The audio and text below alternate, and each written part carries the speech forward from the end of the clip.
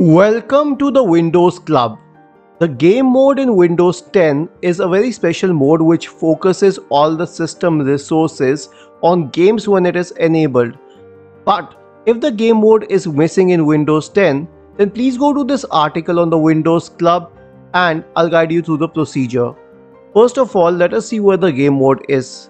Click on the start button, select settings, go to the gaming option go to the game mode tab. This is the game mode switch here. But if it is missing, then you would need a registry editor fix. So scroll down to the path mentioned here. Press the Windows key and the R button to open the run window. Type the command regedit and hit enter to open the registry editor window.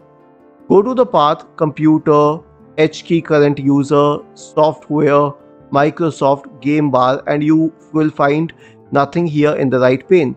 So copy this entry here, right click, set new DWORD 32-bit value and name it allow auto game mode.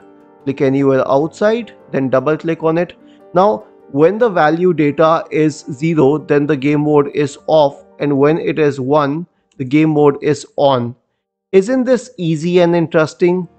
If you have any doubts, please go to the original article on the Windows Club, scroll down to the comment section and write your query. We will surely answer to it. Do not forget to subscribe to the channel. Thank you for watching this video and have a nice day.